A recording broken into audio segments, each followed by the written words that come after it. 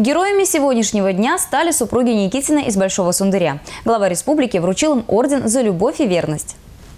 Александра Ивановна и Виталий Васильевич в браке 53 года. Они родились в одной деревне, оба всю жизнь трудились на благо колхоза «Знамя труда». Супруга рядовой колхозницы, глава семейства более 15 лет проработал заведующим фермой. Никитины воспитали пятерых детей и девять внуков. Именно таким супружеским парам, подающим пример в укреплении института семьи, вручают почетный орден.